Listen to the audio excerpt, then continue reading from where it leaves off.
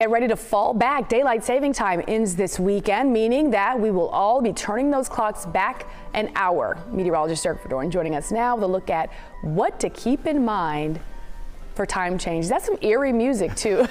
Talking about time change. Okay, but for us, Dirk, scary. doesn't that mean like we gain an hour? This is this is the, good time. This is folks? this is this is for us Okay. early morning risers. this is where we just rejoice. It's so nice because we get an extra hour of sleep. Plus, it gets darker earlier, so you get to get to bed a little bit. Uh, well, you get to get to bed when it's dark outside, and you can also send the kids off to bed a little bit earlier if you're good about it. Let's go ahead and take a look. Daylight saving time. It actually occurs Sunday morning at 2 a.m. At 2 a.m., the clock then automatically goes back an hour, thus giving us an extra hour of uh, sleep in the morning. It does make for a brighter morning. Sunrise is going to occur Sunday morning at 6:36, and sunset is going to occur at 5:01 p.m. So again, it gets darker earlier out there. So those are the things you're going to have to kind of adjust to.